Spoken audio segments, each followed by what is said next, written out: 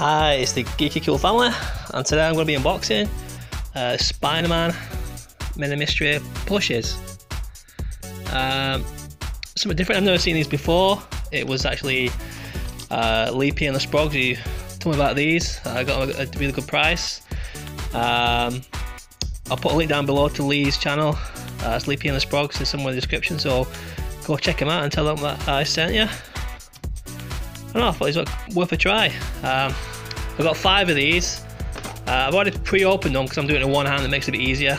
So, hopefully be a quick, quick video, see what we've got. And right off the bat, Spider-Man. Again, these are only small, but why not? Worth a try. There's the Marvel. Cool. It's one down. Nice enough. Like anything else, still want any doubles. Uh, excellent. This is one I'm glad I've got. Venom. It's awesome. Little tongue sticking out. There you go. Turn the back. That's two. Okay, uh, we don't get a double, be fine. No doubles so far. Again, we've got Green Goblin. It's cool. Sit nice on the shelf, these.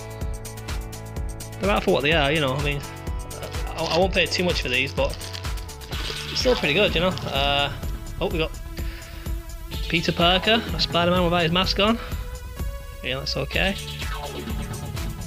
Cool. And finally, the last one.